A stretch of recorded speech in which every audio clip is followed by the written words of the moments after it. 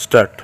With the number of novel coronavirus cases reported so far continuing to rise in most states even during the national lockdown that came into force since March 25, India faced the great challenge of containing its spread just day before the May 3 deadline for lifting the lockout. Stop. With the number of cases increasing from 519 on March 24 to nearly 28,000 on April 27. The lockdown has indeed prevented an explosion of cases. Stop para.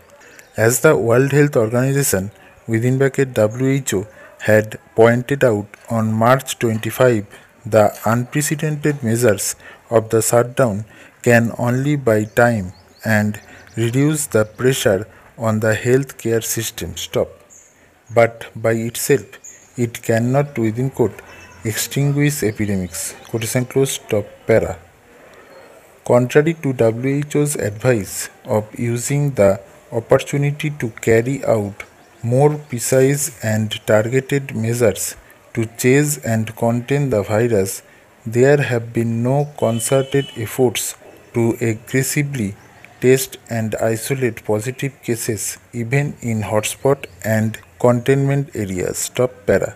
In light of this, will extending the lockdown become a default option as was done after the first phase of restriction ended on April 14 even as the government believes there is no community transmission yet in India question mark or as many experts have been advocating will India bite the bullet and opt for lifting the restrictions in a phased manner?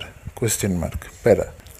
Dr. Giridhar R. Babu, an epidemiologist at the Public Health Foundation of India, Bengaluru, and a member of the COVID 19 Task Force of Karnataka, and Dr. Jayaprakash Muliyil, formerly with the Christian Medical College, Vellore, say that Without doubt, there will be an increase in the number of cases once the lockdown is lifted, semicolon.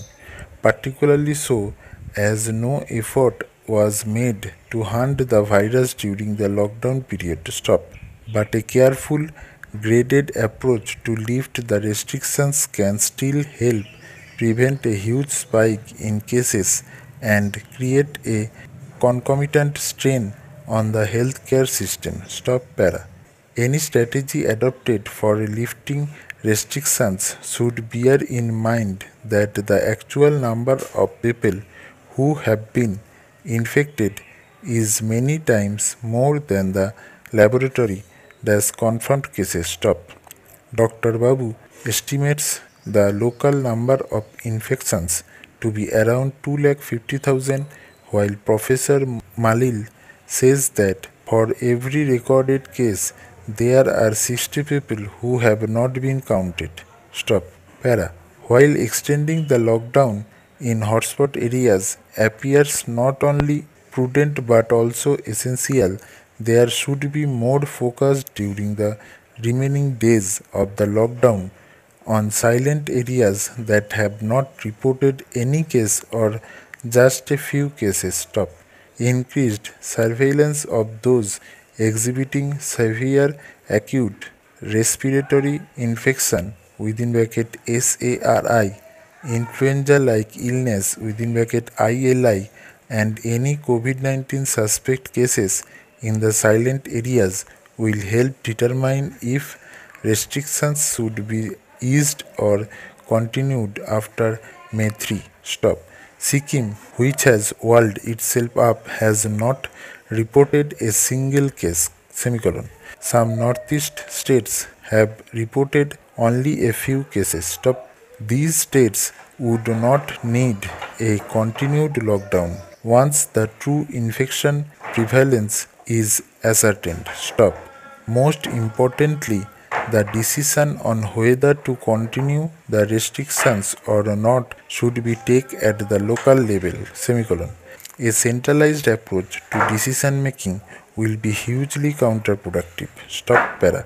As Dr. Babu strongly advocates, it is important to segregate essential and non-essential activities and encourage more people to work from home till such time as an effective vaccine or antiviral becomes available. Stop. Universal mask wearing, physical distancing, and observing hand hygiene will help in curtailing the spread. Semicolon. But this will not be practical in slums and other crowded neighborhoods. Stop para. This brings to the fore a more natural way to slow down and bring the epidemic to an end through herd immunity that happens naturally during an epidemic. Stop. Herd immunity arises when a sizable population gets naturally infected over a period of time so that the virus does not easily find a susceptible host to infect, thus bringing the epidemic to a halt. Thus, this is what Dr. Muliyil and virologist Dr. T. Jacob John advocate. Stop. Para.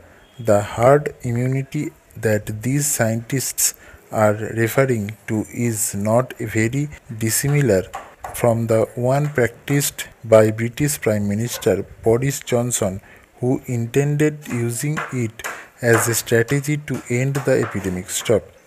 But the difference is that while Mr. Johnson put even the elderly and those with comorbidities at risk of infection through his approach, both these scientists have kept the interests of the elderly and those with comorbidities as top priorities. Top.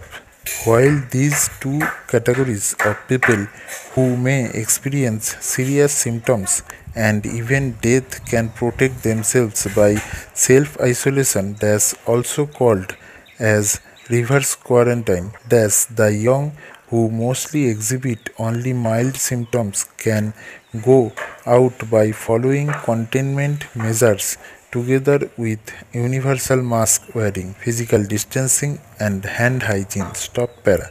Strictly following containment measures, wearing a mask and maintaining physical distancing not only slow down the rate of infection but also the rate at which herd immunity is achieved naturally. Stop. But that is a small price to pay in order to avoid overwhelming the healthcare system if any require hospitalization. Stop. Para. In the case of H1N1 in 2009 the swine flu pandemic died out in 2 years when 40% of the population where the virus was spreading had been naturally infected stop.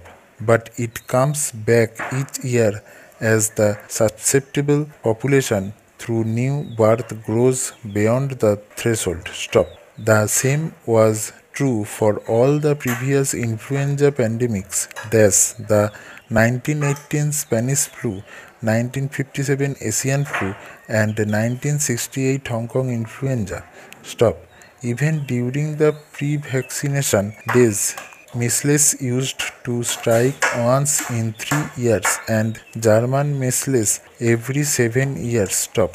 Dr. Jacob Johnson expects at least one year for herd immunity to develop naturally for the novel coronavirus, provided shutdowns are eased. Stop para.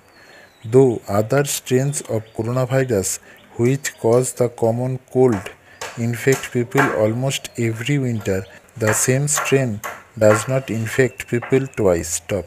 But the mutations that these viruses undergo make most people susceptible to infection. Stop.